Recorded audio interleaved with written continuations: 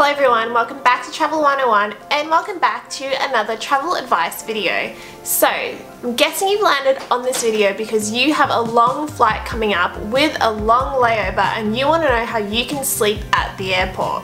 As annoying as a long layover can be, there are actually ways that you can make it super comfortable and stress free. As a budget traveler, I've definitely been in this situation a lot picking the cheapest flight which means sometimes a 4 to 6 to a 10 hour layover at an airport. So I've definitely learned a few things along the way on how to be comfortable and to be safe at the same time.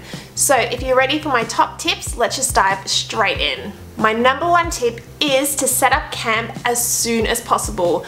Believe it or not, there are actually loads of travelers who are in your exact situation. So the first thing you need to do is scope out the airport to find the best possible place to set up camp and mark your territory. The next one is to dress for the occasion. So if your flight has been cancelled, that is an unfortunate situation, but if you do know that you are going to be having a long layover, you need to make sure you dress appropriately. Airports can get really, really cold, especially because they are covered in large windows throughout. So we suggest making sure you have a warm jacket or something with a hood so you can block the light out. The next one is to have snacks ready to go. Now, stores at the airport generally close quite early, around about 11 o'clock most of the time. So it's a good idea to have some snacks with you if you think you'll need a 2am snack or a 2am drink, unless you're fine with vending machine food. Now you can always double check this prior by having a look at the airport's website to see what time their stores generally close, but it is always a good idea to be prepared if you are going to be sleeping at an airport when the stores most likely will be closed.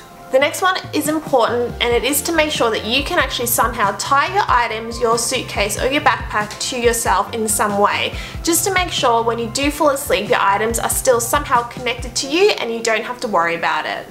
Next is to set an alarm. Make sure you set an alarm with enough time for you to get to your next flight. Also, you do need to make sure your phone has the correct time, especially if you've flown through time zones.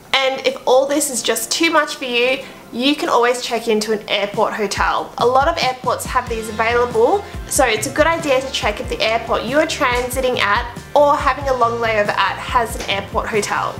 Okay, there you have it, our top tips to make sure when you sleep at the next airport you are completely comfortable, completely safe and well fed as well.